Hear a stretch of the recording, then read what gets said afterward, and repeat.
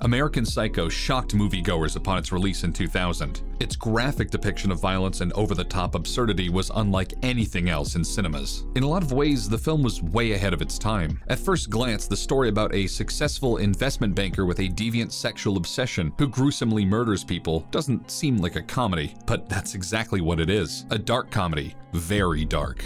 Darker than the blood-spattered alleyway streets after a violent, unprovoked murder. The film, which is adapted from the novel by Bret Easton Ellis, stars a young Christian Bale as Patrick Bateman, a yuppie New York businessman in the 1980s, obsessed with looks, wealth, and status, who's revealed to be the titular psycho. His name, Bateman, is an homage to the killer Norman Bates, the infamous murderer from Alfred Hitchcock's classic Psycho and its subsequent sequels. The movie premiered at the Sundance Film Festival in January of 2000, where it created a lot of buzz. It has since gone on to develop a cult following. It's a well-crafted story that balances humor, social critique, and thrills. Directed by Mary Harron with the screenplay co-written by Harron and Guinevere Turner, there are no doubt several scenes that could arguably qualify as perfect. The moment Bateman murders Paul Allen, played by Jared Leto, with an axe while gleefully dancing to Huey Lewis and the News. The part where Bateman torments two call girls while posing for himself in the mirror. But one scene in particular stands out by highlighting the controlling, neurotic mindset of Patrick Bateman better than any other, while also managing to be the funniest moment in the film.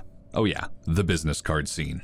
The business card scene is a subtle and subdued moment for a film that features Christian Bale chasing a prostitute naked and blood-soaked through the halls of an apartment complex while wielding a chainsaw. It's a duality that the film balances perfectly. Much like the character of Patrick Bateman, the movie balances moments of the mundane and routine with moments of monstrous violence. But it's in these moments of the mundane that we hear Patrick's inner monologue and get a greater understanding of who he is and how he thinks. This is demonstrated in the film's opening, which details Patrick's daily morning routine routine, what lotions, pore cleansers, and body scrubs he uses religiously, showcasing that he is a disciplined creature of habit who places significant importance on his appearance. But no scene does it better than that business card scene. The scene begins with Bateman and some co-workers sitting around a table in a conference room at work. Bateman's future victim, Paul Allen, approaches and mistakes Bateman for another coworker, Marcus Halberstram. It's a trend that would continue throughout the film, friends and coworkers repeatedly mistaking one another for somebody else, demonstrating how incredibly unoriginal each of them are. Despite their attempts to outdo one another, they wear the same suits, have the same haircuts, and dine at the same restaurants. When Paul Allen hands a business card to a coworker, it prompts Bateman to show off his own new business card.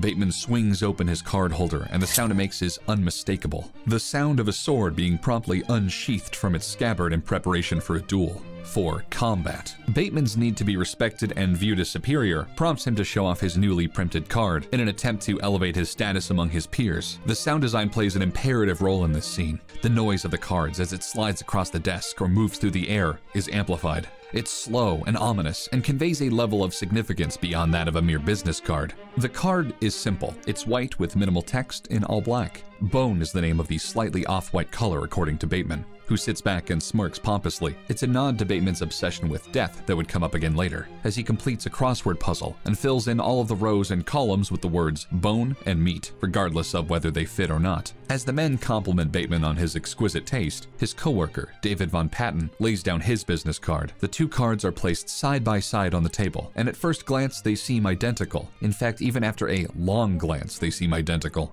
Both are white with black text. Both have the business's phone number in the top left corner and the company name in the right. In the center are their names and job titles, both of which are vice president. Along the bottom is the business address. David's card has slightly more texture, and the text is in slightly bolder print, but their names are the only real difference between the cards. David's card is immediately lauded with compliments like, that is really nice, and Jesus, that is really super. Bateman begins to boil. He does his best to maintain his composure, but through his internal monologue, we learn how upset this makes him. It's a failure in his mind, a failure to live up to the standard he feels he must, a failure to maintain his status. When Bryce places his card on the table next, the pattern is clear. All three cards look nearly identical, yet each of the men describe their cards with such detail and pride, as if their card is somehow better than the rest. We see that Bryce's job title is also vice president. It's a title that seems important and authoritative, yet it's a title they all share, equals with delusions of grandeur, peacocking to make themselves feel higher in status. Bateman lets out a forced compliment through a quivering voice, before then asking to see Paul Allen's card, the business card that ignited this competition of egos to begin with. Bryce pulls one of Paul Allen's cards from his jacket and Bateman holds it up. The shot is an extreme close-up. The card fills the screen, phone number, company, name, job title,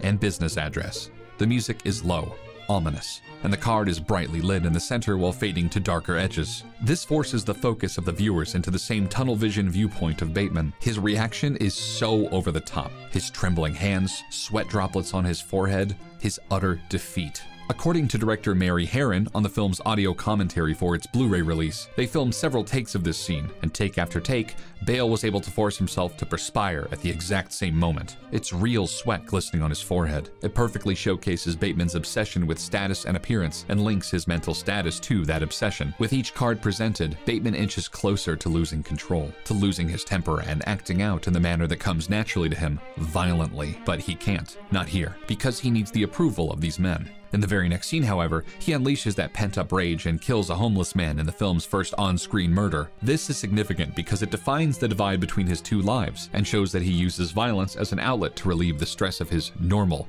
day-to-day life. This business card scene manages to accomplish so much in such a small amount of time. It delves into the mindset of the titular psycho. It puts a spotlight on just how ridiculous these men are, with non-stop attempts to one-up one another. It spotlights how extremely similar they are to one another, while feeling as though they are somehow standing out. Bateman would end up using this to his advantage by essentially blending into the endless crowd of Wall Street yuppies he's surrounded by. The film would eventually evolve into chaotic violence that escalates in absurdity. Bateman's mental state worsens, and he begins to question what he's actually done and what he hasn't, leading the viewers to wonder if any of it was real. Of course, the straight-to-video sequel starring Mila Kunis and William Shatner confirmed that it was, in fact, all real. But take my word for it. You can skip that one and just stick with the original. In a movie that so prominently features dismemberment, masochism, chainsaws, knives, guns, and feeding a cat to an ATM, it was this little scene about business cards that stood out as, well, perfect.